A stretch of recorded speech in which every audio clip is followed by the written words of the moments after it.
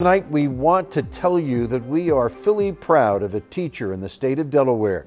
But if you think of a teacher as just someone who is focused only on academics, then Kyrie Bey will expand your view. Here is Action News reporter Jessica Boyington. Meet Kyrie Bey, a teacher at McCullough Middle School in the Colonial School District in Delaware. He's not your average instructor, though. He's a former Marine turned history teacher turned health and mindfulness teacher.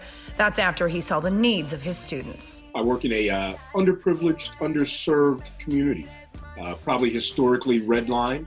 Uh, uh, some people would say school to prison pipeline. His students rely on him emotionally, spiritually, and sometimes even for food. If they're hungry, I always have fruit or vegetables in my room. I, I feed a lot of kids. I probably get called dad more than I get called Mr. Bey. Every kid comes to school with an invisible backpack, and they've been through trauma. And that trauma you don't always see.